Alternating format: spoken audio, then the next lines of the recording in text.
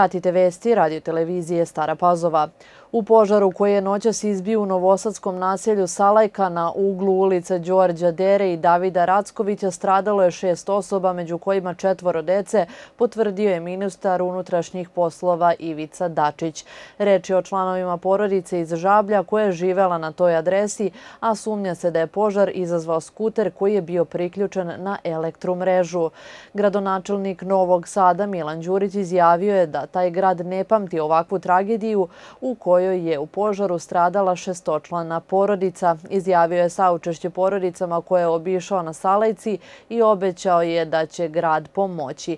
Izjavio je da će Novi Sad proglasiti dan žalosti, a da će datum naknadno biti utvrđen.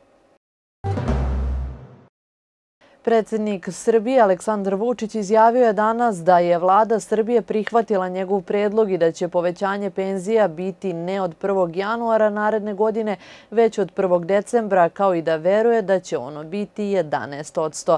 Želim da kažem našim penzionerima i zahvalim se vladi da je izgleda vlada prihvatila moju ideju da povećanje penzija ne ide od 1. januara, već od 1. decembra, dakle mesec dana ranije. Verujem da će biti 11% uvećanje penzija, penzija, značajan pomak za naše penzionere, a bit će još mnogo dobrih vesti. Hvala vam i bez mnogo nerviranja pobedit ćemo ih kao i uvek i pobedit će Srbija. Srbija ne sme da stane, poručio je predsjednik Srbije. U zgradi specijalnog suda u Beogradu nastavljeno je suđenje Urošu Blažiću optuženom za masovno ubistvo u selima kod Mladenovca i Smedereva. Trećeg dana suđenja svedočili su majka i otac mladića koji je preminuo 50 dana nakon ranjavanja, kao i majka jedne ranjene devojke. Punomoćnici oštećenih predložili su da svedoči članovi porodice Blažić. Suđenje se nastavlja 26. septembra.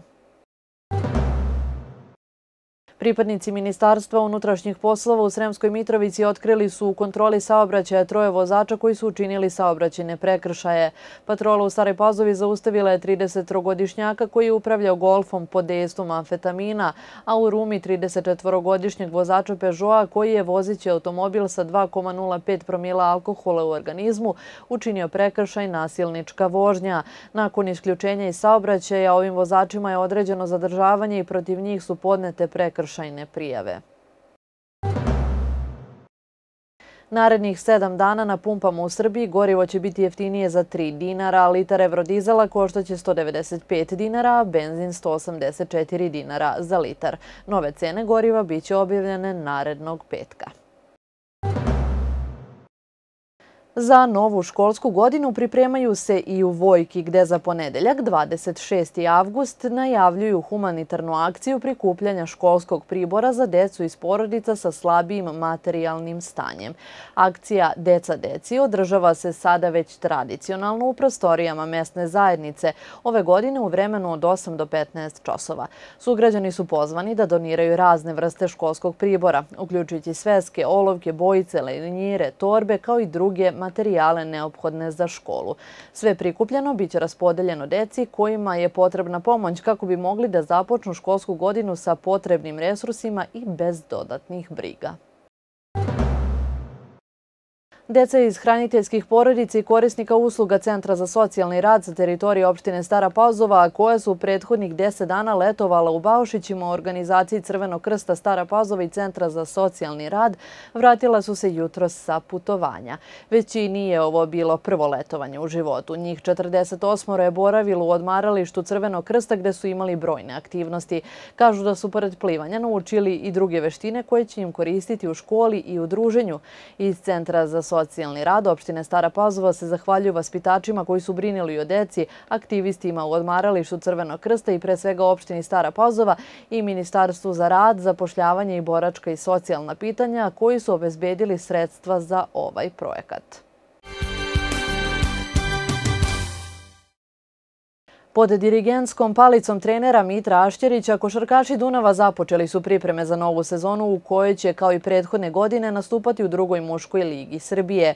Ekipa koja je Lane pokazala solidne rezultate sada se okreće novim izazovima s ciljem da unapredi svoju igru i postigne još bolje rezultate.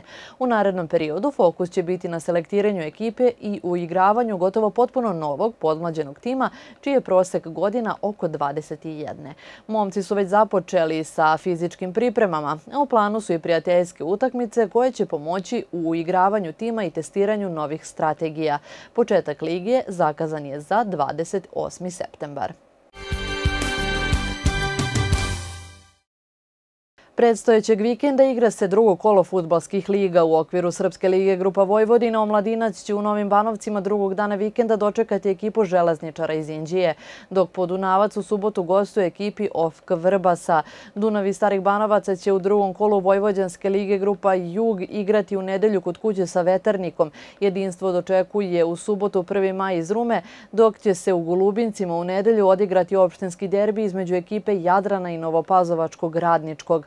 U okviru drugog kola Sremske lige Sremac iz Vojke drugog dana vikenda igra u Ljukovu protiv istoimene ekipe. Sve utakmice zakazane su za 17 časova.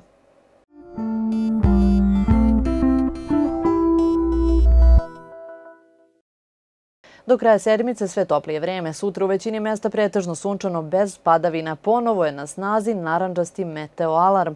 Najviša temperatura do 37 stepeni. Toliko u vestima. Hvala vam na pažnji i želimo vam prijatan vikend.